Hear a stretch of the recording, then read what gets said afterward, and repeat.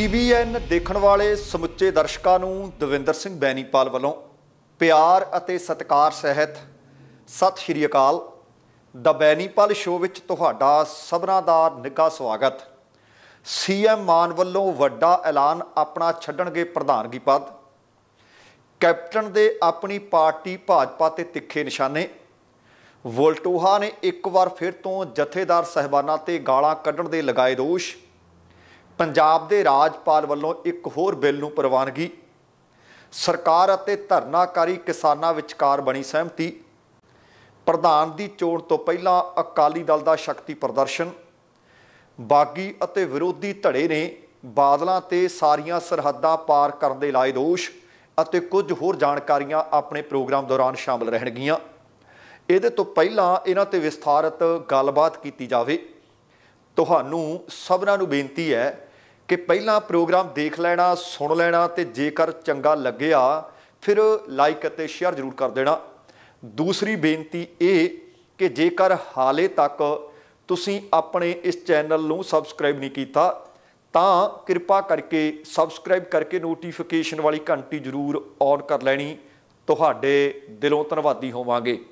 ਸਭ ਤੋਂ ਪਹਿਲਾਂ ਗੱਲ ਕਰਦੇ ਹਾਂ ਪੰਜਾਬ ਦੀ ਸੱਤਾਧਾਰੀ ਧਿਰ ਆਮ ਆਦਮੀ ਪਾਰਟੀ ਨਾਲ ਸੰਬੰਧਿਤ। ਪੰਜਾਬ ਦੀ ਆਮ ਆਦਮੀ ਪਾਰਟੀ ਨੂੰ ਜਲਦ ਇੱਕ ਨਵਾਂ ਪ੍ਰਧਾਨ ਮਿਲਣ ਦੀ ਸੰਭਾਵਨਾ ਹੈ। ਕਿਉਂਕਿ ਵਿਧਾਨ ਸਭਾ ਹਲਕਾ ਚੱਬੇਵਾਲ ਦੇ ਵਿੱਚ ਉਚੇਚੇ ਤੌਰ ਤੇ ਚੋਣ ਪ੍ਰਚਾਰ ਵਾਸਤੇ ਪਹੁੰਚੇ ਸੀ ਪੰਜਾਬ ਦੇ ਮੁੱਖ ਮੰਤਰੀ ਭਗਵੰਤ ਮਾਨ। ਉਹਨਾਂ ਵੱਲੋਂ ਆਪ ਉਮੀਦਵਾਰ ਇਸ਼ਾਂਕ ਚੱਬੇਵਾਲ ਦੇ ਹੱਕ ਵਿੱਚ ਜਦੋਂ ਚੋਣ ਪ੍ਰਚਾਰ ਕੀਤਾ ਗਿਆ, ਉਹਦੇ ਤੋਂ ਬਾਅਦ ਜਦੋਂ ਪੱਤਰਕਾਰਾਂ ਦੇ ਨਾਲ ਉਹ ਗੱਲਬਾਤ ਕਰ ਰਹੇ ਸੀ, ਤਾਂ ਉਹਨਾਂ ਨੇ ਇਹ ਗੱਲ ਦੀ ਆਪ ਇੱਛਾ ਪ੍ਰਗਟਾਈ ਹੈ ਕਿ ਮੈਂ ਇਹ ਪ੍ਰਧਾਨਗੀ ਅਹੁਦਾ ਹੁਣ ਛੱਡਣਾ ਚਾਹੁੰਦਾ ਹਾਂ। ਉਹਨਾਂ ਕਿਹਾ ਕਿ ਮੈਂ ਚਾਹੁੰਦਾ ਹਾਂ ਕਿ ਪ੍ਰਧਾਨਗੀ ਕਿਸੇ ਹੋਰ ਵਿਅਕਤੀ ਨੂੰ ਮਿਲੇ, ਕਿਉਂਕਿ ਬਤੌਰ ਮੁੱਖ ਮੰਤਰੀ ਉਹਨਾਂ ਕੋਲੇ ਘੱਟੋ ਘੱਟ 14-15 ਮੰਤਰਾਲੇ ਵੀ ਹੈ ਅਤੇ ਮੁੱਖ ਮੰਤਰੀ ਦੇ ਬਹੁਤ ਸਾਰੇ ਕੰਮਕਾਜ ਹੁੰਦੇ ਨੇ। ਇਸ ਵਾਸਤੇ ਪਾਰਟੀ ਲਈ ਇੱਕ ਫੁੱਲ ਟਾਈਮ ਪ੍ਰਧਾਨ ਦੀ ਜ਼ਰੂਰਤ ਹੈ। ਉਹਨਾਂ ਕਿਹਾ ਕਿ ਮੈਂ ਪਿਛਲੇ 7 ਸਾਲ ਤੋਂ ਪਾਰਟੀ ਦਾ ਪ੍ਰਧਾਨ ਚੱਲਿਆ ਆ ਰਿਹਾ ਅਤੇ ਹੁਣ ਕਿਸੇ ਹੋਰ ਨੂੰ ਮੌਕਾ ਮਿਲਣਾ ਚਾਹੀਦਾ ਹੈ। ਉਹਨਾਂ ਕਿਹਾ ਕਿ ਉਹ ਇਹ ਮਾਮਲਾ ਪਾਰਟੀ ਹਾਈ ਕਮਾਂਡ ਦੇ ਅੱਗੇ ਵੀ ਰੱਖਣਗੇ। ਤੁਹਾਨੂੰ ਯਾਦ ਹੋਣਾ ਕੁਝ ਦਿਨ ਪਹਿਲਾਂ ਜਿਹੜੀ ਅੰਦਰ ਅੱਗ ਸੁਲਗ ਰਹੀ ਸੀ, ਮੈਂ ਤੁਹਾਡੇ ਨਾਲ ਇਹ ਖਬਰ ਆਲਰੇਡੀ ਇੱਕ ਦਿਨ ਸਾਂਝੀ ਕਰ ਦਿੱਤੀ ਸੀ, ਪਰ ਉਸ ਦਿਨ ਮੁੱਖ ਮੰਤਰੀ ਮਾਨ ਵੱਲੋਂ ਇਸ ਤਰ੍ਹਾਂ ਦਾ ਕੋਈ ਬਿਆਨ ਨਹੀਂ ਸੀ ਦਿੱਤਾ ਗਿਆ। ਹੁਣ ਉਮੀਦ ਕੀਤੀ ਜਾ ਰਹੀ ਹੈ ਕਿ ਇਸ ਸਬੰਧ ਵਿੱਚ ਕੋਈ ਜਲਦ ਅਤੇ ਵੱਡਾ ਐਲਾਨ ਕੀਤਾ ਜਾ ਸਕਦਾ ਹੈ। ਮੁੱਖ ਮੰਤਰੀ ਮਾਨ ਨੇ ਕਿਹਾ ਕਿ ਮੈਂ ਚਾਹੁੰਦਾ ਹਾਂ ਕਿ ਪਾਰਟੀ ਦਾ ਪ੍ਰਧਾਨ ਕੋਈ ਹੋਰ ਲਗਾ ਦਿੱਤਾ ਜਾਵੇ ਅਤੇ ਸਾਡੀਆਂ ਜ਼ਿੰਮੇਵਾਰੀਆਂ ਵੰਡ ਦਿੱਤੀਆਂ ਜਾਣ। ਆਪਣੇ ਸੰਬੋਧਨ ਵਿੱਚ ਮੁੱਖ ਮੰਤਰੀ ਮਾਨ ਨੇ ਆਪਣੀ ਸਰਕਾਰ ਦੀਆਂ ਪ੍ਰਾਪਤੀਆਂ ਵੀ ਗਿਣਵਾਈਆਂ। ਇਸ ਮੌਕੇ ਤੇ ਮੁੱਖ ਮੰਤਰੀ ਮਾਨ ਨੇ ਕਿਹਾ ਕਿ ਜੋ ਵਾਅਦੇ ਉਹਨਾਂ ਨੇ ਲੋਕਾਂ ਨਾਲ ਕੀਤੇ ਸੀ, ਉਹਨਾਂ ਦੀ ਪਾਰਟੀ ਉਹਨਾਂ ਵਿੱਚੋਂ ਹਰ ਇੱਕ ਚੋਣ ਵਾਅਦੇ ਨੂੰ ਇੱਕ ਇੱਕ ਕਰਕੇ ਪੂਰਾ ਕਰ ਰਹੀ ਹੈ। ਇਹਦੇ ਨਾਲ ਹੀ ਉਹਨਾਂ ਨੇ ਔਰਤਾਂ ਨੂੰ ਜਲਦ 1 1000 ਰੁਪਏ ਦੇਣ ਵਾਲਾ ਜਿਹੜਾ ਵਾਅਦਾ, ਜਿਹੜੀ ਗਾਰੰਟੀ ਸੀ, ਉਹ ਗੱਲ ਕਹੀ ਕਿ ਉਹ ਪੂਰੀ ਕੀਤੀ ਜਾਏਗੀ।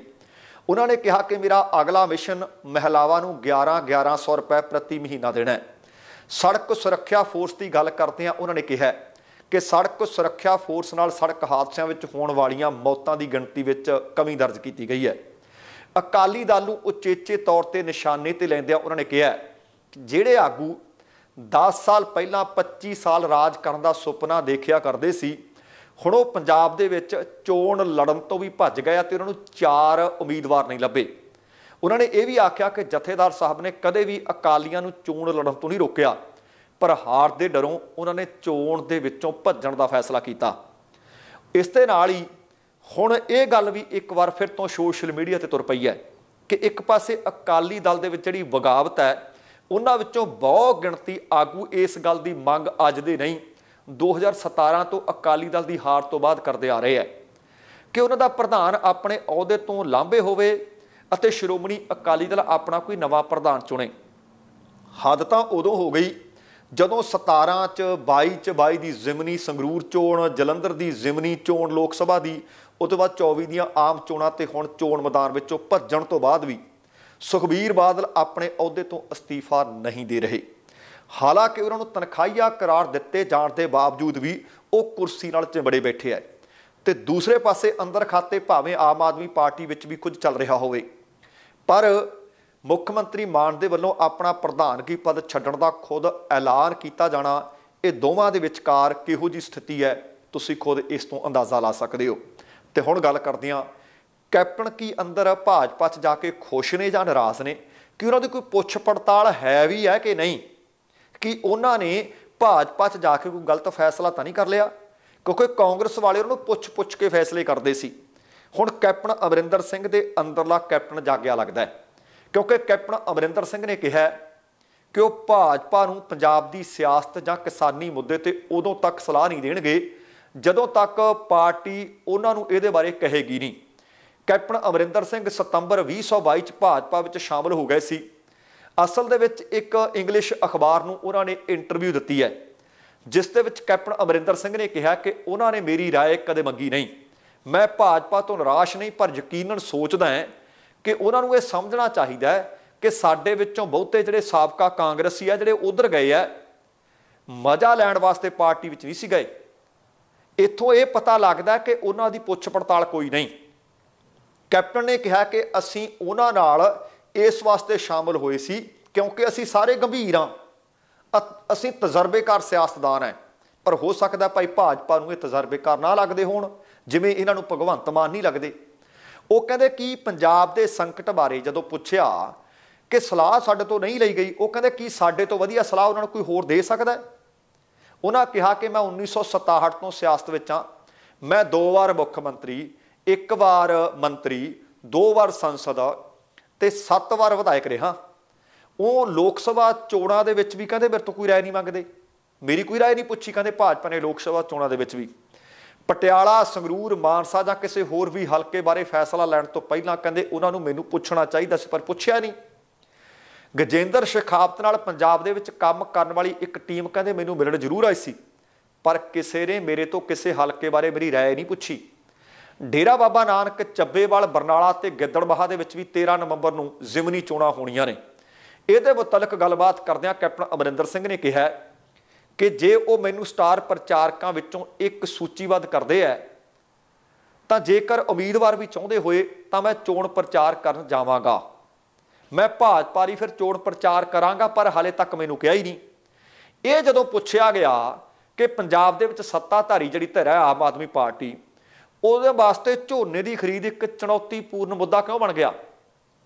ਤਾਂ ਕੈਪਟਨ ਅਮਰਿੰਦਰ ਸਿੰਘ ਕਹਿੰਦੇ ਕਿ ਭਗਵੰਤ ਮਾਨ ਤੇ ਉਹਨਾਂ ਦੇ ਕੈਬਨਿਟ ਸਾਥੀਆਂ ਦੇ ਕੋਲ ਤਜਰਬਾ ਹੀ ਕੋਈ ਹੈ ਨਹੀਂ। ਹੁਣ ਇਹਨਾਂ ਕੋਲ ਸਮੱਸਿਆ ਤਜਰਬਾ ਉਹ ਤੇ ਇਹਨਾਂ ਨੂੰ ਭਾਜਪਾ ਨਹੀਂ ਪੁੱਛਦੀ। ਉਹ ਕਹਿੰਦੇ ਅਸਲ ਦੇ ਵਿੱਚ ਕੇਂਦਰ ਤੇ ਸੂਬੇ ਦੀ ਸਰਕਾਰ ਦੇ ਵਿੱਚ ਤਾਲਮੇਲ ਦੀ ਕਮੀ ਹੈ।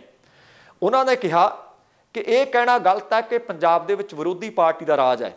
ਇਸ ਲਈ ਭਾਜਪਾ ਇਸ ਨੂੰ ਨਜ਼ਰ ਅੰਦਾਜ਼ ਕਰ ਰਹੀ ਹੈ। ਉਹ ਕਹਿੰਦੇ ਮੁੱਖ ਮੰਤਰੀ ਵਜੋਂ ਮੇਰੇ ਕਾਰਜਕਾਲ 2002 ਤੋਂ 7 ਅਤੇ 2017 ਤੋਂ 21 ਦੇ ਦੌਰਾਨ ਭਾਜਪਾ ਕੇਂਦਰ ਦੇ ਵਿੱਚ ਸੱਤਾ ਵਿੱਚ ਸੀ।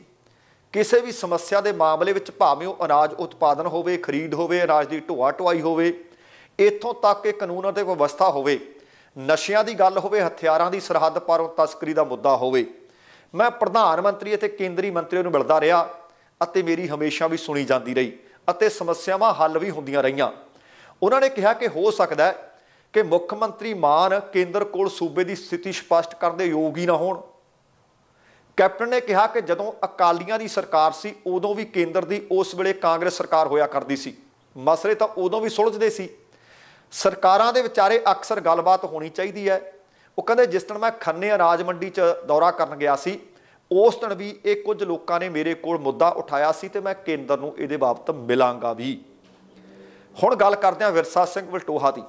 ਲੱਗਦਾ ਸੀ ਕਿ ਇਹ ਵਿਵਾਦ ਥੰਮ ਜਾਏਗਾ ਜਾਂ ਥੰਮ ਗਿਆ ਹੋਵੇਗਾ ਤੁਹਾਨੂੰ ਯਾਦ ਹੋਣਾ ਕਿ ਪੰਜ ਸਿੰਘ ਸਹਿਬਾਨਾਂ ਨੇ ਸ਼੍ਰੋਮਣੀ ਅਕਾਲੀ ਦਲ ਨੂੰ 24 ਘੰਟਿਆਂ ਦਾ ਅਲਟੀਮੇਟਮ ਦਿੱਤਾ ਸੀ। ਪਰ ਉਹਦੇ ਤੋਂ ਪਹਿਲਾਂ ਵਿਰਸਾ ਸਿੰਘ ਬਲਟੋਹਾ ਆਪ ਹੀ ਮੁੱਢਲੀ ਮੈਂਬਰਸ਼ਿਪ ਤੋਂ ਵੀ ਅਕਾਲੀ ਦਲ ਦੀ ਤੋਂ ਅਸਤੀਫਾ ਦੇ ਗਏ ਸੀ, ਪਰ ਮੁੜ ਕੇ ਵੀ ਤਾਬੜ ਤੋੜ ਹਮਲੇ ਕਰਦੇ ਰਹੇ। ਇੱਥੋਂ ਤੱਕ ਕਿ ਦਮਦਮਾ ਸਾਹਿਬ ਦੇ ਜਥੇਦਾਰ ਸਿੰਘ ਸਾਹਿਬ ਗਿਆਨੀ ਹਰਪ੍ਰੀਤ ਸਿੰਘ ਨੇ ਇਸ ਗੱਲੋਂ ਨਿਰਾਸ਼ ਹੋ ਕੇ ਆਪਣਾ ਅਸਤੀਫਾ ਦੇ ਦਿੱਤਾ ਸੀ, ਭਾਵੇਂ ਕਿ ਸ਼੍ਰੀ ਅਕਾਲ ਤਖਤ ਸਾਹਿਬ ਵੱਲੋਂ ਆਦੇਸ਼ ਜਾਰੀ ਕਰਨ ਤੋਂ ਬਾਅਦ ਉਹਨਾਂ ਦਾ ਅਸਤੀਫਾ ਰੱਦ ਕਰ ਦਿੱਤਾ ਗਿਆ। ਲਗਾਤਾਰ ਉਹ ਅਕਾਲੀ ਦਲ ਛੱਡਣ ਤੋਂ ਬਾਅਦ ਵੀ ਸਿੰਘ ਸਾਹਿਬਾਨਾਂ ਤੇ ਹਮਲਾਵਰ ਰੁਖ ਅਖਤਿਆਰ ਕਰਦੇ ਆ ਰਹੇ ਨੇ। ਹੁਣ ਸ਼੍ਰੀ ਅਕਾਲ ਤਖਤ ਸਕੱਤਰੇਤ ਦੇ ਵਿੱਚ ਜਦੋਂ ਉਹਨਾਂ ਨੂੰ ਤਲਬ ਕੀਤਾ ਗਿਆ, ਤਾਂ ਵਿਰਸਾ ਸਿੰਘ ਬਲਟੋਹਾ ਇੱਕ ਵਾਰ ਫਿਰ ਤੋਂ ਪੰਜ ਸਿੰਘ ਸਹਿਬਾਨਾਂ ਤੇ ਬਹੁਤ ਗੰਭੀਰ ਦੋਸ਼ ਲਾ ਰਹੇ ਨੇ। ਵਿਰਸਾ ਸਿੰਘ ਬਲਟੋਹਾ ਨੇ ਕਿਹਾ ਕਿ ਜਿਸ ਦਿਨ ਉਹਨਾਂ ਨੂੰ ਸ਼੍ਰੀ ਅਕਾਲ ਤਖਤ ਸਾਹਿਬ ਤੇ ਤਲਬ ਕੀਤਾ ਗਿਆ ਸੀ, ਤਾਂ ਉਸ ਮੌਕੇ ਜਥੇਦਾਰਾਂ ਨੇ ਉਹਨੂੰ ਗਾਲਾਂ ਕੱਢੀਆਂ ਨੇ ਅਤੇ ਜੇ ਗਾਲਾਂ ਇਹ ਕਿਹੜੀਆਂ ਕੱਢੀਆਂ ਨੇ, ਕਿਉਂਕਿ ਮੈਂ ਤੁਹਾਡੇ ਨਾਲ ਸਾਂਝ ਵੀ ਨਹੀਂ ਪਾ ਸਕਦਾ, ਤੇ ਉਹਨਾਂ ਦਾ ਫੇਸਬੁੱਕ ਪੇਜ ਹੈ ਮੈਂ ਟੀਮ ਨੂੰ ਕਹਾਂਗਾ ਕਿ ਸਕਰੀਨਸ਼ਾਟ ਵੀ ਦਿਖਾ ਦੇਣਗੇ। ਆ ਪੜ ਲਿਓ, ਜਿਹੜੀਆਂ ਗਾਲਾਂ ਉਹ ਕਹਿੰਦੇ ਮੈਨੂੰ ਜਥੇਦਾਰਾਂ ਨੇ ਕੱਢੀਆਂ ਨੇ। ਵਲਟੋਹਾ ਨੇ ਕਿਹਾ ਕਿ ਤਲਖੀ ਚਾ ਕੇ ਜਥੇਦਾਰਾਂ ਨੇ ਮੈਨੂੰ ਇਹ ਗਾਲਾਂ ਕੱਢੀਆਂ। ਉਹਨਾਂ ਨੇ ਸਬੂਤ ਲਈ ਵੀਡੀਓ ਜਾਰੀ ਕਰਨ ਦੀ ਮੰਗ ਕੀਤੀ ਹੈ। ਇੱਕ ਪੋਸਟ ਸਾਂਝੀ ਕਰਦਿਆਂ ਵਿਰਸਾ ਸਿੰਘ ਵਲਟੋਹਾ ਨੇ ਕਿਹਾ ਕਿ ਸ਼੍ਰੀ ਅਕਾਲ ਤਖਤ ਸਾਹਿਬ ਸਕੱਤਰੇਤ ਵਿਖੇ ਤਲਬ ਕੀਤੇ ਗਏ ਸਿੱਖ ਸਾਹਮਣੇ ਕਿਸੇ ਜਥੇਦਾਰ ਸਾਹਿਬ ਦੇ ਵੱਲੋਂ ਤਲਖੀ ਵਿੱਚ ਆ ਕੇ ਆ ਇਸ ਤਰ੍ਹਾਂ ਦੀਆਂ ਗਾਲਾਂ ਕਰਨੀਆਂ ਕਿੰਨੀਆਂ ਜਾਇਜ਼ ਨੇ? ਉਹਨਾਂ ਨੇ ਸਵਾਲ ਕੀਤਾ ਕਿ ਸ਼ਬਦ ਦੀ ਵਰਤੋਂ ਕਰਨਾ ਕੀ ਜਾਇਜ਼ ਹੈ? ਵਿਰਸਾ ਸਿੰਘ ਵਲਟੋਹਾ ਨੇ ਸਬੂਤਾਂ ਦੇ ਵਾਸਤੇ ਸ਼੍ਰੀ ਅਕਾਲ ਤਖਤ ਸਾਹਿਬ ਸਕੱਤਰੇ ਦੇ ਵਿੱਚ ਤਲਬੀ ਦੇ ਸਮੇਂ ਜਿਹੜੀ ਵੀਡੀਓਗ੍ਰਾਫੀ ਕੀਤੀ ਗਈ ਸੀ, ਉਹ ਕਹਿੰਦੇ ਜੇ ਜਥੇਦਾਰ ਸਾਹਿਬਾਨਾਂ ਨੇ ਮੈਨੂੰ ਗਾਲਾਂ ਨਹੀਂ ਕੱਢੀਆਂ, ਤੇ ਉਹ ਵੀਡੀਓ ਜਨਤਕ ਕਰ ਦੇਣ ਲੋਕਾਂ ਨੂੰ ਪਤਾ ਲੱਗ ਜਾਏਗਾ। ਤੇ ਹੁਣ ਗੱਲ ਕਰਦੇ ਹਾਂ ਕਿ ਪੰਜਾਬ ਦੇ ਗਵਰਨਰ ਦੇ ਵੱਲੋਂ ਇੱਕ ਹੋਰ ਬਿੱਲ ਪ੍ਰਵਾਨ ਕਰ ਲਿਆ ਗਿਆ ਇਹ ਬਿੱਲ ਹੈ ਜੀ, ਪੰਜਾਬ ਫਾਇਰ ਐਂਡ ਐਮਰਜੈਂਸੀ ਸੇਵਾਵਾਂ। ਇਹ ਬਿੱਲ ਪੰਜਾਬ ਦੇ ਗਵਰਨਰ ਗੁਲਾਬ ਚੰਦ ਕਟਾਰੀਆ ਨੇ ਪ੍ਰਵਾਨ ਕਰ ਲਿਆ ਤੇ ਇਹਦੇ ਤੇ ਮੋਹਰ ਲਾ ਦਿੱਤੀ ਹੈ। ਇਸ ਬਿੱਲ ਦੇ ਲਾਗੂ ਹੋਣ ਦੇ ਨਾਲ ਹੁਣ ਅੱਗ ਨਾਲ ਸੰਬੰਧਿਤ ਐਨਓਸੀ ਹਰ ਸਾਲ ਦੀ ਬਜਾਏ 3 ਸਾਲਾਂ ਬਾਅਦ ਲੈਣੀ ਪਿਆ ਕਰੇਗੀ। ਮਿਲੀ ਜਾਣਕਾਰੀ ਦੇ ਮੁਤਾਬਕ ਇਸ ਦੇ ਨਾਲ ਹੀ ਬਿੱਲ ਅੱਗ ਨਾਲ ਸੰਬੰਧਿਤ ਗਤੀਵਿਧੀਆਂ ਦਾ ਨਿਰੀਖਣ ਕਰਨ ਅਤੇ ਖਰਾਬ ਪ੍ਰਦਰਸ਼ਨ ਨੂੰ ਸਜ਼ਾ ਦੇਣ ਲਈ ਇੱਕ ਰੈਗੂਲੇਟਰੀ ਢਾਂਚਾ ਵੀ ਬਣਾਏਗਾ। ਇਹਦੇ ਤੋਂ ਪਹਿਲਾਂ Punjab apartment and property regulation bill ਨੂੰ ਵੀ ਮਨਜ਼ੂਰ ਕਰ ਦਿੱਤਾ ਗਿਆ ਸੀ। ਅੱਗ ਬੁਝਾਊ ਵਿਭਾਗ ਦੇ ਕੋਲ ਹੁਣ ਪੰਜਾਬ ਦੀਆਂ ਸਾਰੀਆਂ ਇਮਾਰਤਾਂ ਤੇ ਫਾਇਰ ਟੈਕਸ ਲਗਾਉਣ ਦੀ ਸਮਰੱਥਾ ਵੀ ਹੋਏਗੀ। ਫਾਇਰ ਪ੍ਰਸ਼ਾਸਨ ਫਾਇਰ ਟੈਕਸ ਤੇ ਸੈਸ ਵੀ ਲਗਾ ਸਕੇਗਾ।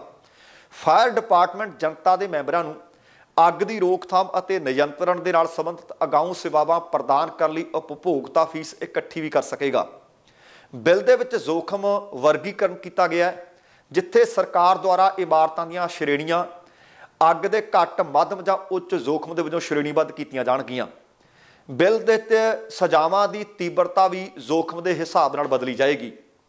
ਬਿੱਲ ਇਹ ਸੁਨਿਸ਼ਚਿਤ ਕਰਦਾ ਹੈ ਕਿ ਬਹੁਤ ਸਾਰੇ ਸਰਕਾਰੀ ਸਰੋਤਾਂ ਨੂੰ ਅੱਗ ਦੇ ਉੱਚ ਜੋਖਮ ਵਾਲੀਆਂ ਇਮਾਰਤਾਂ ਦੀਆਂ ਸ਼੍ਰੇਣੀਆਂ ਤੇ ਨਿਸ਼ਾਨਾ ਬਣਾਇਆ ਗਿਆ ਹੈ। ਬਿੱਲ ਹਰੇਕ ਜ਼ੁਰਮ ਨੂੰ ਵੱਖਰੇ ਤੌਰ ਤੇ ਸਜ਼ਾ ਦੇ ਇੱਕ ਪੱਧਰੀ ਮਾਡਲ ਦੀ ਕਲਪਨਾ ਵੀ ਕਰਦਾ ਹੈ। ਲਗਾਤਾਰ ਗੈਰ ਪਾਲਣਾ ਕਰਨ ਲਈ ਸਖਤ ਜੁਰਮਾਨੇ ਨਿਰਧਾਰਤ ਕਰਨ ਦਾ ਇਹਦੇ ਵਿੱਚ ਪ੍ਰਾਵਧਾਨ ਹੈ। ਸਜ਼ਾ ਦਾ ਇੱਕ ਮਾਡਲ ਬਣਾਏ ਜਾਣ ਦੀ ਸੰਭਾਵਨਾ ਹੈ ਤਾਂ ਕਿ ਪਤਾ ਲੱਗੇ ਕਿ ਲੋਕ ਇਸ ਬਿੱਲ ਦੀ, ਇਸ ਕਾਨੂੰਨ ਦੀ ਪਾਲਣਾ ਕਰਨ। ਗੈਰ ਪਾਲਣਾ ਕਰਨ ਵਾਲਿਆਂ ਨੂੰ ਸਜ਼ਾ ਦਿੱਤੀ ਜਾਏਗੀ।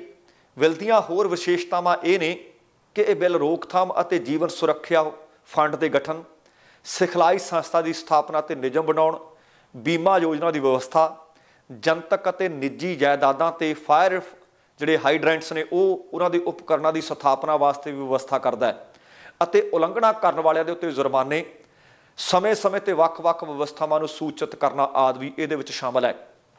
ਇਹਦੇ ਨਾਲ ਹੀ ਹੁਣ ਇਸ ਵਿਭਾਗ ਦੇ ਵਿੱਚ ਲੜਕੀਆਂ ਨੂੰ ਵੀ ਭਰਤੀ ਕੀਤਾ ਜਾਏਗਾ ਅਤੇ ਇਹ ਵੀ ਇਹਦੇ ਵਿੱਚ ਸੂਚੀਬੱਧ ਕੀਤਾ ਹੋਇਆ ਹੈ। ਹੁਣ ਗੱਲ ਕਰਦੇ ਹਾਂ ਸਾਬਕਾ ਕਾਂਗਰਸੀ ਵਿਧਾਇਕਾ ਸਤਕਾਰ ਕੌਰ ਗਹਿਰੀ, ਜਿਹੜੇ ਕਿ ਭਾਜਪਾ ਦੇ ਵਿੱਚ ਸ਼ਾਮਲ ਹੋ ਗਏ ਸਨ, ਪਰ ਭਾਜਪਾ ਨੇ ਉਹਨਾਂ ਨੂੰ ਬੀਤੇ ਦਿਨੀ ਇਸ ਖਬਰ ਤੋਂ ਬਾਅਦ ਖਾਰਜ ਕਰ ਦਿੱਤਾ ਸੀ। ਜਾਣਕਾਰੀ ਮਿਲ ਰਹੀ ਹੈ ਕਿ ਕਾਂਗਰਸ ਦੀ ਸਾਬਕਾ ਵਿਧਾਇਕਾ ਅਤੇ ਸਾਬਕਾ ਭਾਜਪਾ ਆਗੂ ਸਤਕਾਰ ਕੌਰ ਗਹਿਰੀ ਅਤੇ ਉਸ ਤੇ ਭਤੀਜੇ ਨੂੰ ਅਦਾਲਤ ਵੱਲੋਂ 14 ਦਿਨ ਦੀ ਨਿਆਂਇਕ ਹਿਰਾਸਤ ਵਿੱਚ ਭੇਜ ਦਿੱਤਾ ਗਿਆ ਹੈ। ਦੱਸਣਾ ਬਣਦਾ ਕਿ ਸਤਕਾਰ ਕੌਰ ਗਹਿਰੀ ਅਤੇ ਉਸ ਤੇ ਭਤੀਜੇ ਨੂੰ ਪਿਛਲੇ ਦਿਨੀ ਖਰੜ ਦੇ ਵਿੱਚੋਂ ਸਨੀ ਐਨਕਲੇਵ ਦੇ ਵਿੱਚੋਂ ਨਸ਼ੇ ਦੀ ਡਰੱਗ ਖੇਪ ਸਮੇਤ ਗ੍ਰਿਫਤਾਰ ਕਰਨ ਦਾ ਪੁਲਿਸ ਵੱਲੋਂ ਦਾਵਾ ਕੀਤਾ ਗਿਆ ਸੀ ਕਿ ਉਹਨਾਂ ਨੂੰ ਨਸ਼ਾ ਵੇਚਦਿਆਂ ਰੰਗੇ ਹੱਥੀਂ ਫੜਿਆ ਗਿਆ। ਘਰੇ ਜਦੋਂ ਤਲਾਸ਼ੀ ਲਈ ਗਈ ਕੁਝ ਗੱਡੀਆਂ ਕੁਝ ਗੱਡੀਆਂ ਦੀਆਂ ਨੰਬਰ ਪਲੇਟਾਂ, ਕੁਝ ਗਹਿਣਾ ਗੱਟਾ ਅਤੇ ਕੁਝ ਨਕਦੀ ਅਤੇ ਡਰੱਗ ਬਰਾਮਦ ਕੀਤੀ ਗਈ ਸੀ। ਉਹਦੇ ਤੋਂ ਬਾਅਦ ਉਹ ਮੁੱਕਰੇ ਸੀ, ਪਰ ਕੱਲ ਦੇ ਪ੍ਰੋਗਰਾਮ ਵਿੱਚ ਅਪਡੇਟ ਕੀਤਾ ਗਿਆ ਸੀ ਕਿ ਕਿੱਥੋਂ ਨਸ਼ਾ ਲਿਆਉਂਦੇ ਸੀ, ਕਿੱਥੇ ਵੇਚਦੇ ਸੀ। ਪੁਲਿਸ ਪੁੱਛਗਿੱਛ ਵਿੱਚ ਉਹਨਾਂ ਨੇ ਇਸ ਗੱਲ ਦੇ ਖੁਲਾਸੇ ਕੀਤੇ ਐ।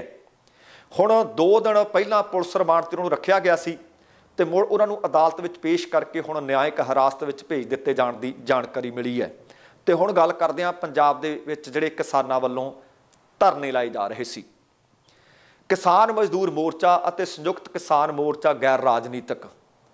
ਇਹਨਾਂ ਦੇ ਵੱਲੋਂ ਰੋਡ ਬੰਦ ਕੀਤੇ ਹੋਏ ਸੀ ਅਤੇ ਝੋਨੇ ਦੀ ਖਰੀਦ ਅਤੇ ਉਹਦੇ ਨਾਲ ਜਿਹੜੀ ਲਿਫਟਿੰਗ ਨਹੀਂ ਸੀ ਹੋ ਰਹੀ, ਉਹਨੂੰ ਸੁਚਾਰੂ ਰੂਪ ਦੇ ਵਿੱਚ ਅੱਗੇ ਤੋਰਨ ਵਾਸਤੇ ਸੰਗਰੂਰ ਦੇ ਬੜਰੁੱਖਾਂ ਮੋਗਾ 'ਚ ਡਗਰੂ, ਕਪੂਰਥਲਾ ਦੇ ਵਿੱਚ ਫਗਵਾੜਾ, ਗੁਰਦਾਸਪੁਰ ਦੇ ਸਠਿਆਲੀ ਪੁਲ ਬਠਿੰਡਾ ਦੇ ਵਿੱਚ ਜੱਸੀ ਚੌਂਕ, ਇਹ ਮੁੱਖ ਸੜਕਾਂ ਦੇ ਉੱਤੇ ਅਣਮਿੱਥੇ ਸਮੇਂ ਵਾਸਤੇ ਧਰਨਾ ਪ੍ਰਦਰਸ਼ਨ ਕਿਸਾਨਾਂ ਵੱਲੋਂ ਕੀਤਾ ਜਾ ਰਿਹਾ ਸੀ।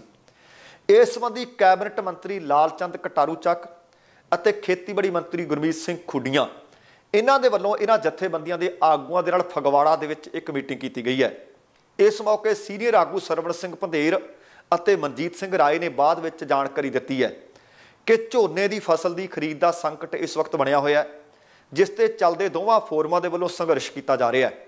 ਉਹਨਾਂ ਦੱਸਿਆ ਕਿ ਜਥੇਬੰਦੀਆਂ ਦੇ ਵੱਲੋਂ ਜ਼ਬਰਦਸਤ ਤਰੀਕੇ ਨਾਲ ਮਸਲਾ ਜਦੋਂ ਸਾਹਮਣੇ ਰੱਖਿਆ ਗਿਆ, ਤਾਂ ਫਿਰ ਸਰਕਾਰ ਨੇ ਮੰਨਿਆ ਕਿ ਮੰਡੀਆਂ ਦੇ ਵਿੱਚ ਨਮੀ ਦੀ ਸ਼ਰਤ ਪੂਰੀ ਕਰਨ ਤੇ ਵੀ ਘੱਟ ਰੇਟ ਤੇ ਵਿਕਣ ਵਾਲੀ ਫਸਲ ਦਾ ਜਿਹੜਾ ਰੇਟ ਹੈ, ਉਹ ਮੰਡੀਆਂ ਦੇ ਵਿੱਚ ਜਿਹੜਾ ਕਿਸਾਨਾਂ ਨੂੰ ਇਸ ਵਕਤ ਇਸ ਜ਼ੋਖਮ ਦਾ ਸਾਹਮਣਾ ਕਰਨਾ ਪੈ ਰਿਹਾ ਹੈ, ਉਹ ਜਿਹੜੀ ਨਜਾਇਜ਼ ਕੱਟ ਹੈ, ਉਹਦੀ ਕੱਟ ਦੀ ਭਰਪਾਈ ਆੜਤੀ ਵੱਲੋਂ ਕਰਵਾਈ ਜਾਏਗੀ।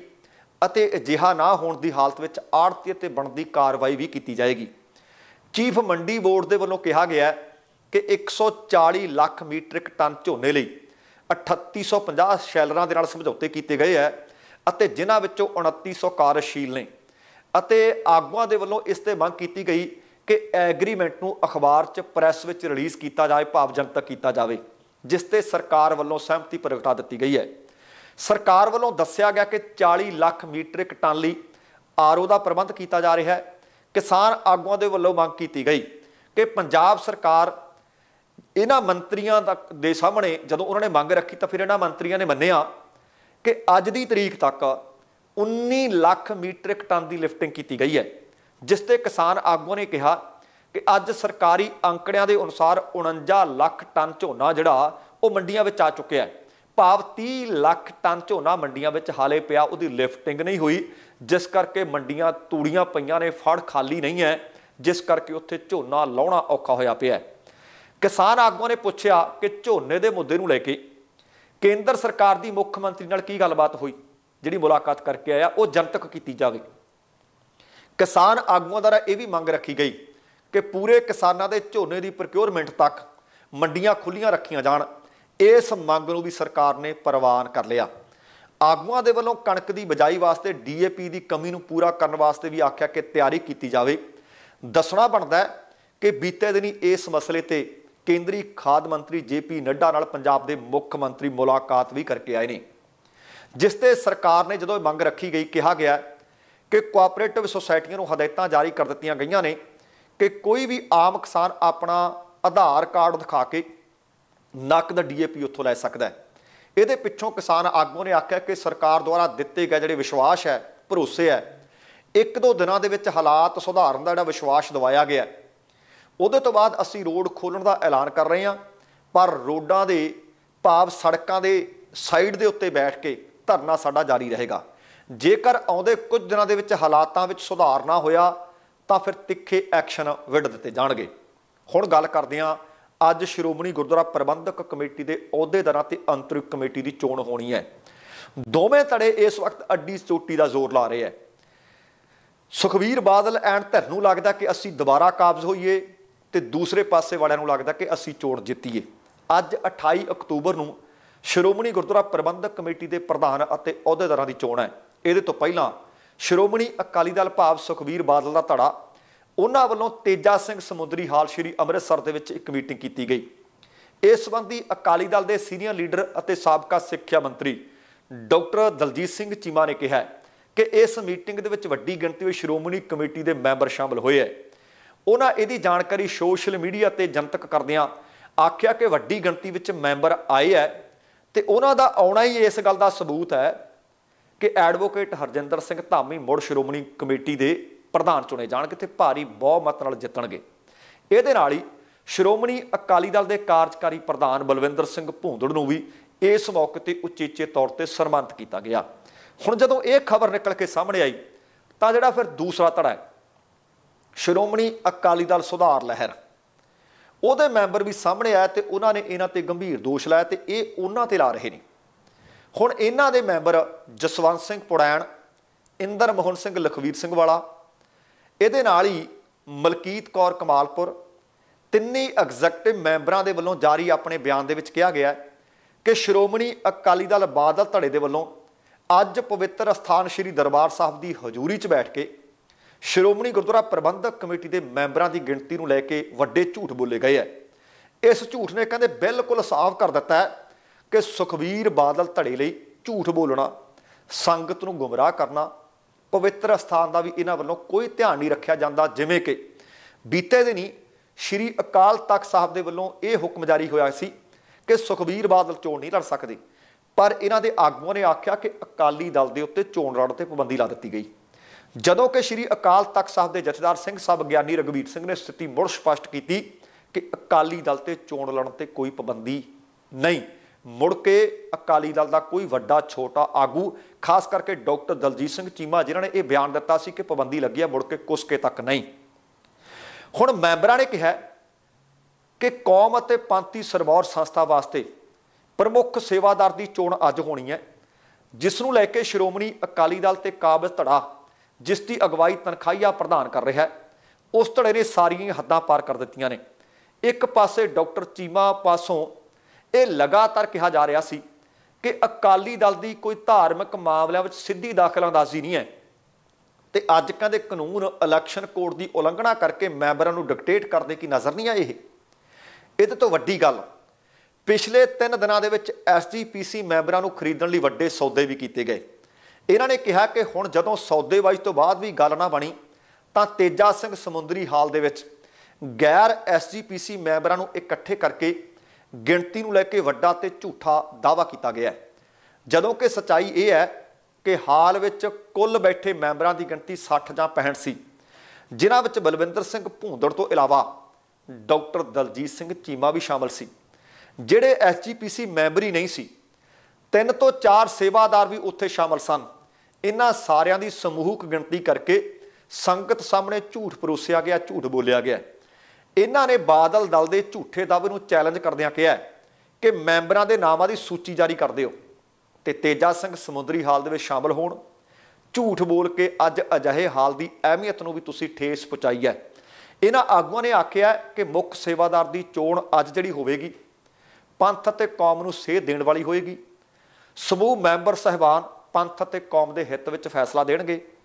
ਡੇਦੇਦਾਰ ਨੂੰ ਮੁਆਫੀਆਂ ਦਿਵਾਉਣ ਵਾਲਿਆਂ ਸੰਗਤ ਤੇ ਗੋਲੀ ਚਲਵਾਉਣ ਦਾ ਹੁਕਮ ਦੇਣ ਵਾਲਿਆਂ ਸਮੇਧ ਸੈਣੀ ਵਰਗਾਂ ਨੂੰ ਡੀਜੀਪੀ ਲਾਉਣ ਵਾਲੇ, ਪੰਥਕ ਮਖੌਟਾ ਪਾਉਣ ਵਾਲੇ, ਉਹਨਾਂ ਨੂੰ ਇਹ ਐਸਜੀਪੀਸੀ ਦੇ ਜਿਹੜੇ ਮੈਂਬਰ ਨੇ, ਉਹ ਸਬਕ ਦੇਣਗੇ। ਇਹਨਾਂ ਆਗੂਆਂ ਨੇ ਆਖਿਆ ਕਿ ਪਿਛਲੇ 3 ਦਿਨਾਂ ਤੋਂ ਲਗਾਤਾਰ ਐਸਜੀਪੀਸੀ ਮੈਂਬਰਾਂ ਦੀ ਸੌਦੇਬਾਜ਼ੀ ਕੀਤੀ ਜਾ ਰਹੀ ਹੈ। ਬਾਦਲ ਧੜੇ ਨੇ ਆਪਣੀ ਪੁਰਾਣੀ ਆਦਤ ਦੇ ਅਨੁਸਾਰ ਐਸਜੀਪੀਸੀ ਮੈਂਬਰਾਂ ਦੀ ਖਰੀਦੋ ਫਰੋਖਤ ਕਰਨ ਦੀ ਪੂਰੀ ਵਾਹ ਲਾਈ ਹੋਈ ਆ, ਹਰ ਕੋਸ਼ਿਸ਼ ਕੀਤੀ ਜਾ ਰਹੀ ਹੈ। ਤੇ ਹੁਣ ਅਮਰਿਤਪਾਲ ਸਿੰਘ ਦਾ ਨਿੱਜੀ ਗਨਮੈਨ ਗ੍ਰਿਫਤਾਰ ਕੀਤੇ ਜਾਣ ਦੀ ਖਬਰ ਹੈ। ਜਲੰਧਰ ਕਮਿਸ਼ਨਰੇਟ ਦੀ ਪੁਲਿਸ ਨੇ ਸੀਆਈਏ ਸਟਾਫ ਦੀ ਪੁਲਿਸ ਨੇ ਬੰਬੀਹਾ ਕੌਸ਼ਲ ਗੈਂਗ ਨੂੰ ਹਥਿਆਰ ਸਪਲਾਈ ਕਰਨ ਵਾਲੇ ਜੇਲ੍ਹ ਦੇ ਵਿੱਚ ਬੰਦ ਸੰਸਦ ਅਮਰਿਤਪਾਲ ਸਿੰਘ ਦੇ ਸਾਥੀ ਗੁਰਭੇਜ ਸਿੰਘ ਸਮੇਤ ਤਿੰਨ ਹੋਰਨਾਂ ਨੂੰ ਗ੍ਰਿਫਤਾਰ ਕਰਕੇ ਉਹਨਾਂ ਦੇ ਕਬਜ਼ੇ ਵਿੱਚੋਂ 12 ਬੋਰ ਦੇ 10 ਕਾਰਤੂਸ 315 ਬੋਰ ਦੇ 8 ਕਾਰਤੂਸ ਅਤੇ 100 ਗ੍ਰਾਮ ਹੈਰੋਇਨ ਬਰਾਮਦ ਕਰਨ ਦਾ ਦਾਅਵਾ ਕੀਤਾ ਹੈ। ਮੁਲਜ਼ਮਾਂ ਨੂੰ ਲੈ ਕੇ ਰਿਮਾਂਡ ਤੇ ਉਹਨਾਂ ਦੇ ਸਮੁੱਚੇ ਨੈਟਵਰਕ ਦੀਆਂ ਇਸ ਵਕਤ ਜੜਾਂ ਤੱਕ ਪਹੁੰਚਣ ਦੀਆਂ ਕੋਸ਼ਿਸ਼ਾਂ ਕੀਤੀਆਂ ਜਾ ਰਹੀਆਂ ਨੇ। ਪੁਲਿਸ ਵੱਲੋਂ ਦਾਅਵਾ ਕੀਤਾ ਗਿਆ ਕਿ ਤਫਤੀਸ਼ ਤੋਂ ਬਾਅਦ ਇਸ ਗਰੋਹ ਸੰਬੰਧੀ ਹੋਰ ਸਨਸਨੀਖੇਜ ਖੁਲਾਸੇ ਹੋਣ ਦੀ ਸੰਭਾਵਨਾ ਵੀ ਹੈ। ਇਸ ਬਾਰੇ ਪੁਲਿਸ ਕਮਿਸ਼ਨਰ ਸਵਪਨ ਸ਼ਰਮਾ ਨੇ ਦੱਸਿਆ ਕਿ ਬੰਬੀਹਾ ਕੌਂਸ਼ਲ ਗੈਂਗ ਪੰਜਾਬ ਦੀ ਸ਼ਾਂਤੀ ਨੂੰ ਭੰਗ ਕਰਨ ਦੀ ਯੋਜਨਾ ਬਣਾ ਰਿਹਾ ਸੀ। ਇਹਦੇ ਤੋਂ ਪਹਿਲਾਂ ਪੁਲਿਸ ਨੇ ਪੰਜ ਗੈਂਗਸਟਰਾਂ ਨੂੰ ਗ੍ਰਿਫਤਾਰ ਕੀਤਾ ਸੀ। ਜਿਨ੍ਹਾਂ ਦੇ ਸਬੰਧ ਅਮਰਿਤਪਾਲ ਸਿੰਘ ਦੇ ਕਰੀਬੀ ਗੁਰਭੇਜ ਸਿੰਘ ਦੇ ਨਾਲ ਸਾਹਮਣੇ ਆਏ। ਇਸ ਦੌਰਾਨ ਪੁਲਿਸ ਨੇ ਜਾਂਚ ਦੇ ਦੌਰਾਨ ਸੰਸਦ ਅਮਰਿਤਪਾਲ ਸਿੰਘ ਦੇ ਕਰੀਬੀ ਗੁਰਭੇਜ ਸਿੰਘ ਵਾਸੀ ਪਿੰਡ ਗੋਦਾਰਾ ਥਾਣਾ ਬਾਜਾਖਾਨਾ, ਜ਼ਿਲ੍ਹਾ ਫਰੀਦਕੋਟ ਉਸ ਨੂੰ ਗ੍ਰਿਫਤਾਰ ਕੀਤਾ। ਜਦਕਿ ਉਸ ਦੇ ਤਿੰਨ ਹੋਰ ਸਾਥੀ ਲਖਵਿੰਦਰ ਸਿੰਘ ਵਾਸੀ ਪਿੰਡ ਹੈਬੋਵਾਲ, ਜ਼ਿਲ੍ਹਾ ਹੁਸ਼ਿਆਰਪੁਰ ਸਤਿੰਦਰ ਸਿੰਘ ਕਾਕਾ, ਹਰਦੀਪ ਸਿੰਘ ਤੇ ਭਰਤ ਸਿੰਘ। ਉਰਫ ਭਾਊ ਵਾਸੀ ਤਰਨਤਾਰਨ ਜ਼ਿਲ੍ਹਾ ਅੰਮ੍ਰਿਤਸਰ ਉਹਨਾਂ ਨੂੰ ਵੀ ਗ੍ਰਿਫਤਾਰ ਕੀਤੇ ਜਾਣ ਦੀ ਜਾਣਕਾਰੀ ਦਿੱਤੀ ਹੈ।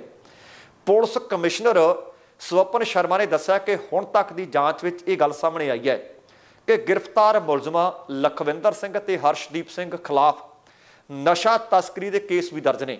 ਇਹ ਦੋਵੇਂ ਗੈਰ ਕਾਨੂੰਨੀ ਹਥਿਆਰਾਂ ਦੀ ਸਪਲਾਈ ਦੇ ਮਾਮਲੇ ਵਿੱਚ ਵੀ ਸ਼ਾਮਲ ਸੀ। ਅਤੇ ਅੰਮ੍ਰਿਤਪਾਲ ਸਿੰਘ ਦੇ ਨਜ਼ਦੀਕੀ ਸਾਥੀ ਗੁਰਭੇਜ ਸਿੰਘ ਦੇ ਸੰਪਰਕ ਵਿੱਚ ਵੀ ਸਨ। ਇਹ ਚਾਰੇ ਮੁਲਜ਼ਮ ਅਜਨਾਲਾ ਥਾਣੇ ਤੇ ਹਮਲੇ ਦੇ ਕੇਸ ਵਿੱਚ ਕਪੂਰਥਲਾ ਜੇਲ੍ਹ ਵਿੱਚ ਬੰਦ ਸੀ। ਤਾਂ ਇਸੇ ਦੌਰਾਨ ਇਹਨਾਂ ਦੀ ਮੁਲਾਕਾਤ ਹੋਈ। ਪੁਲਿਸ ਕਮਿਸ਼ਨਰ ਨੇ ਦਾਅਵਾ ਕੀਤਾ ਕਿ ਇਹ ਮੁਲਜ਼ਮ ਜੇਲ੍ਹ ਦੇ ਅੰਦਰੋਂ ਮੋਬਾਈਲ ਫੋਨਾਂ ਦੇ ਰਾਹੀਂ ਨੈਟਵਰਕ ਚਲਾ ਰਹੇ ਸੀ। ਸੀਆਈਏ ਸਟਾਫ ਦੇ ਇੰਚਾਰਜ ਇੰਸਪੈਕਟਰ ਸੁਰਿੰਦਰ ਕੁਮਾਰ ਨੇ ਦੱਸਿਆ ਕਿ ਜਾਂਚ ਦੌਰਾਨ ਇਹ ਗੱਲ ਸਾਹਮਣੇ ਆਈ ਹੈ ਕਿ ਮੱਧ ਪ੍ਰਦੇਸ਼ ਤੋਂ ਤਸਕਰੀ ਕਰਕੇ ਹਥਿਆਰ ਬੰਬੀਹਾ ਕੌਸ਼ਲ ਗਰੋਹ ਕੋਲ ਪਹੁੰਚਾਏ ਜਾਂਦੇ ਸੀ।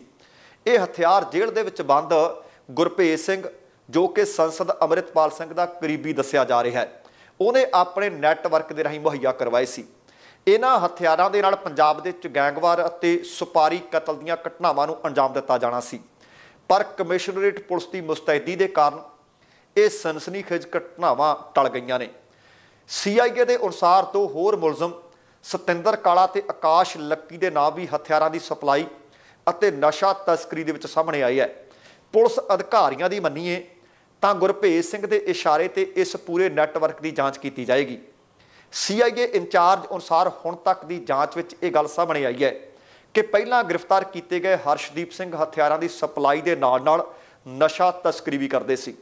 ਪੁਲਿਸ ਅਧਿਕਾਰੀਆਂ ਦੇ ਦੱਸਣ ਅਨੁਸਾਰ ਡਰੱਗ ਰੈਕਟ ਦੀ ਅਹਿਮ ਜਾਣਕਾਰੀ ਪੁਲਿਸ ਦੇ ਹੱਥ ਉਹਨਾਂ ਦੇ ਮੋਬਾਈਲ ਫੋਨਾਂ ਤੋਂ ਲੱਗੀ, ਜਿਸ ਤੋਂ ਬਾਅਦ ਇਸ ਵੱਡੀ ਕਾਰਵਾਈ ਨੂੰ ਅੰਜਾਮ ਦਿੱਤਾ ਗਿਆ ਹੈ। ਦੋਸਤੋ, ਇਹ ਸੀ ਕੁੱਲ ਮਿਲਾ ਕੇ ਆਪਣਾ ਅੱਜ ਦਾ ਪ੍ਰੋਗਰਾਮ। ਉਮੀਦ ਕਰ ਰਿਹਾ ਤੁਹਾਨੂੰ ਚੰਗਾ ਲੱਗਿਆ ਹੋਵੇਗਾ। ਜੇਕਰ ਪ੍ਰੋਗਰਾਮ ਚੰਗਾ ਲੱਗਿਆ ਹੈ, ਤਾਂ ਕਿਰਪਾ ਕਰਕੇ ਲਾਈਕ ਅਤੇ ਸ਼ੇਅਰ ਜ਼ਰੂਰ ਕਰ ਦੇਣਾ। ਜੇਕਰ ਹਾਲੇ ਤੱਕ ਤੁਸੀਂ ਆਪਣੇ ਇਸ ਚੈਨਲ ਨੂੰ ਸਬਸਕ੍ਰਾਈਬ ਨਹੀਂ ਕੀਤਾ, ਤਾਂ ਕਿਰਪਾ ਕਰਕੇ ਸਬਸਕ੍ਰਾਈਬ ਕਰਕੇ ਨੋਟੀਫਿਕੇਸ਼ਨ ਵਾਲੀ ਘੰਟੀ ਜ਼ਰੂਰ ਔਨ ਕਰ ਲੈਣੀ। ਤੁਹਾਡੇ ਦਿਲੋਂ ਧੰਨਵਾਦੀ ਹੋਵਾਂਗੇ। ਹੁਣ ਸਮਾਂ ਸਮਾਪਤ ਹੈ। ਜਾਣ ਤੋਂ ਪਹਿਲਾਂ ਕਹਾਂਗਾ, ਜ਼ਿੰਦਗੀ। ਜਿੰਦਾਦਲੀ ਦਾ ਨਾਮ ਹੈ। ਦਵਿੰਦਰ ਸਿੰਘ ਬੈਨੀਪਾਲ ਨੂੰ ਆਗਿਆ ਦਿਓ। ਸਤਿ ਸ਼੍ਰੀ ਅਕਾਲ ਤੇ ਰੱਬ ਰਾਖਾ